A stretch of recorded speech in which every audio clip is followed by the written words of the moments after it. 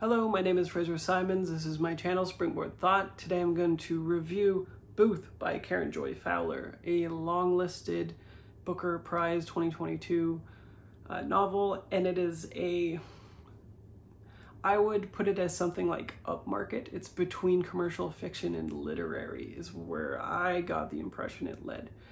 But uh, I also consume this on audio.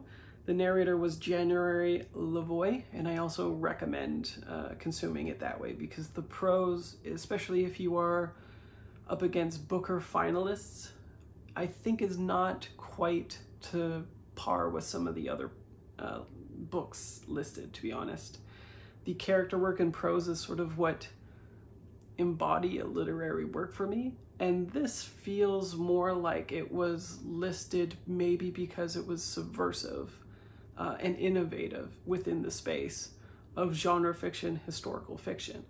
Because this story tells the story of John Wilkes Booth through the lens of his family predominantly without giving him his own perspective. It's always other people.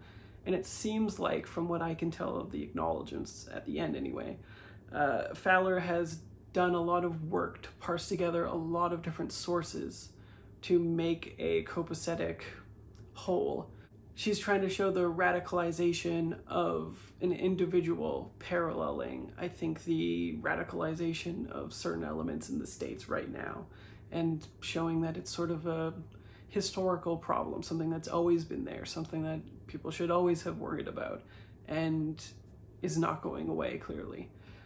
So it's a little bit of a different mission statement, I think, than most historical fiction, and therefore a little bit subversive because she's attempting to not center Wilkes Booth, even as it is sort of his family story. And he's more or less the most notable person there. So it begins like womb to tomb, even before he is born. It begins with his father and the mother's relationship. They're falling in love, running off, and having kids. Uh, they immigrate, I believe, if I remember correctly. And then they uh, raise a brood, and he is a actor predominantly, who's supposedly quite good. And then he starts turning to drink and it gets much more granular at that point with the events that have been occurring from his sort of like stardom to his fall to the kids actually growing up three of whom become semi-predominant voices or protagonists in the fiction.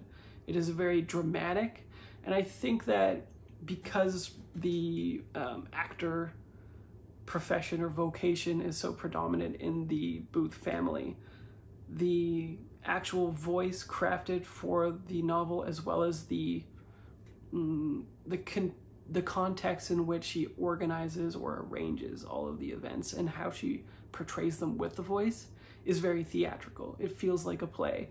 Like this is very Greek tragedy, very I don't know, something something that's like a production, something that you're consuming on a stage you're not probably going to be surprised by a bunch of the beats because we've seen them so often in other historical fiction contexts or elsewhere. But it is undeniable that this family has had a time. There's a lot of wild things that occur. There's a little bit of surprises, maybe.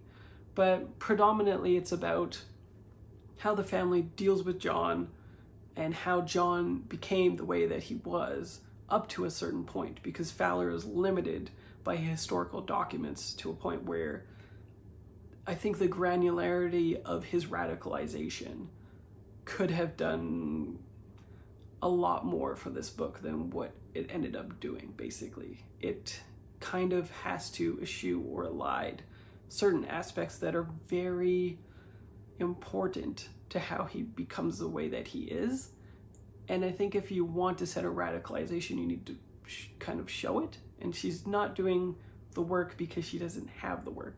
So there's a lot of extrapolation that's taking place.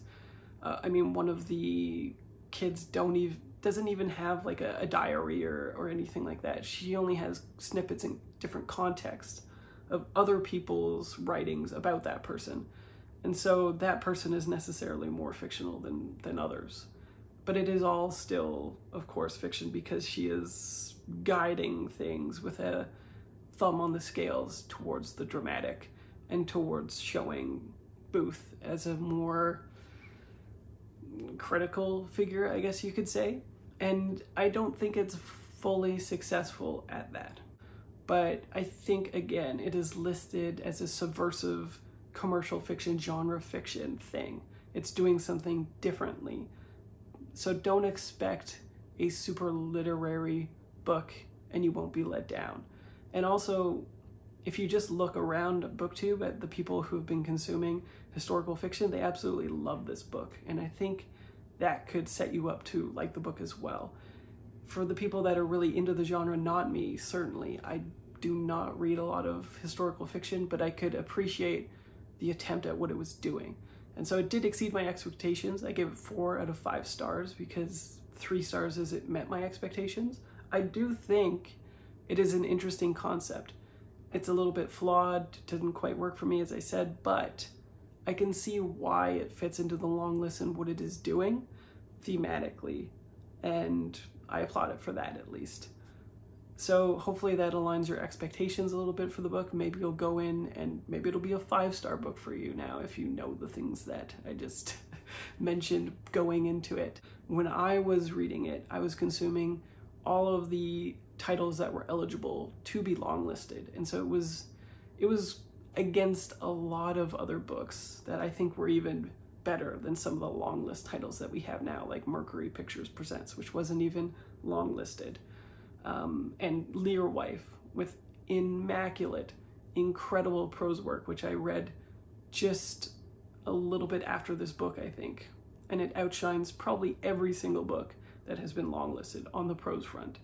So it just depends. Hopefully, you can go in with an open mind. And if you go into it and you end up enjoying it, I hope you'll comment. Let me know what you think. Am I off base? Am I on point? Who knows? Uh, and otherwise, I will see you for the next review. Bye.